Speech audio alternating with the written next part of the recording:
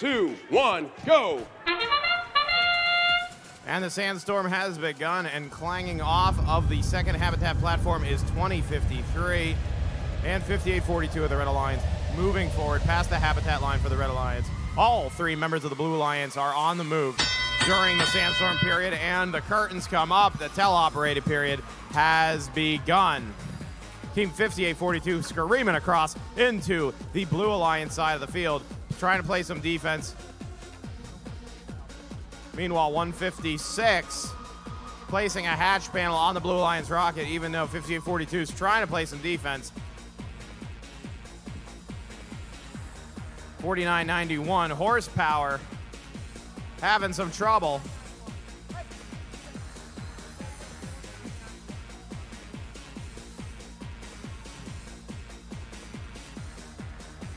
Forty-four sixty-seven, delivering a piece of cargo. Fifty-eight forty-two, still trying to play some defense over on the, still trying to play some defense over on the Blue Alliance side. 4991 has been disabled, so the blue line is going to be a little bit short-handed here. 4467.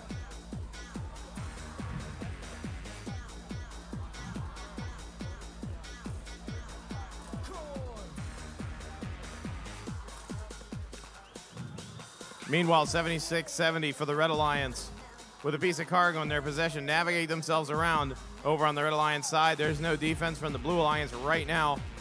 5842 is stopped at the nose of the Blue Alliance cargo shuttle.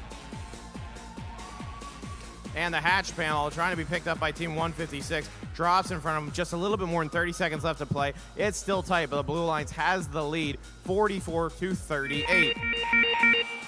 And we are less than 30 seconds left to play and entering into endgame while 2053 is looking to climb up to the third habitat level. And it looks like they got themselves up there a little bit, a little bit back and forth. They've got to get, and it looks like they're able to get themselves up there with 10 seconds left.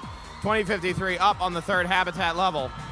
If 7670 can get onto the habitat as well, they'll be able to pick up an extra ranking point as time draws to a close.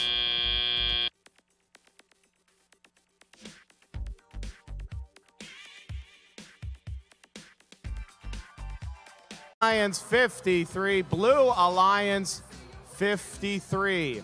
Each alliance picks up two ranking points. There's a piece of explanation that needs to become here. The Red Alliance gets two ranking points, one for the tie and one for the habitat.